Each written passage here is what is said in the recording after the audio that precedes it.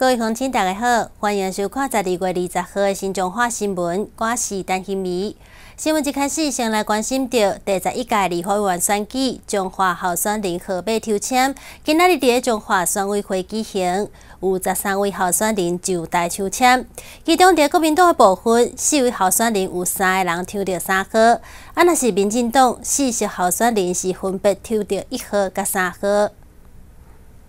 抽签的现场，候选人是坐几排，准备就台抽签。开始进行，中华选委会主委马先报告抽签的方法甲规则。哦，先恭喜哈，我们各位候选人登记参加彰化县第十一届区域立委的呃选举哈。那这个资格呢，哈也获得中央选委会的认可，所以今天特别邀请大家哈来参加今天的姓名号次抽签。那待会儿大家所抽到的一个号码。就是各位未来你们的呃一些竞选的刊物啦，或者是旗帜哈，或者是看板哈，这的的一个号次。那当然哈，这个也是后后续呢，我们作为哈我们的选举公报哈，还有我们的选票哈的一个依据。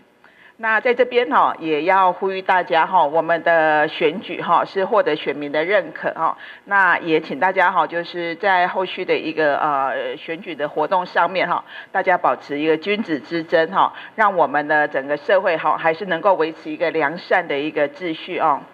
第十一届立法委员中法官候选人河北抽签，今仔日伫中华选委会举行，中法官拢总分做四个选区，最后抽签的结果是第一选区一号陈秀宝，二号苏群杰，三号阮厚觉；第二选区一号黄秀峰，二号杨耀聪；第三选区一号洪建新，二号谢依凤，三号吴英玲，四号桂丽娜。第四选区一河郑习茂，二号郑俊雄，三河陈素月，四河蔡茂成。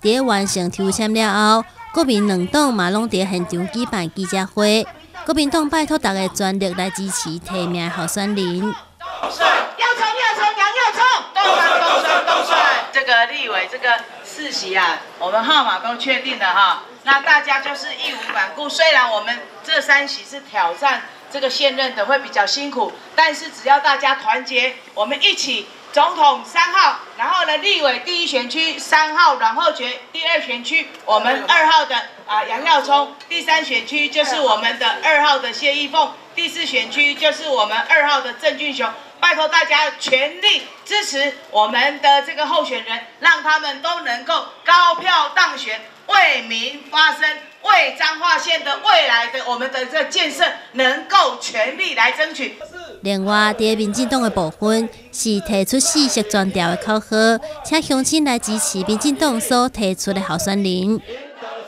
咱民进党四色的努力，哦，也拢抽出来，哦，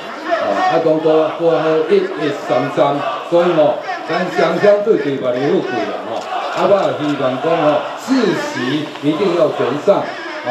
啊，咱诶秀宝是一号，陈秀宝一号，所以吼票投陈秀宝，中华才会好，大家讲好唔好？好。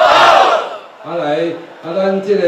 秀峰，黄秀峰嘛是票一号的吼，啊所以伊一定赢。票投黄秀峰，中华真风光，大家讲好唔好？好。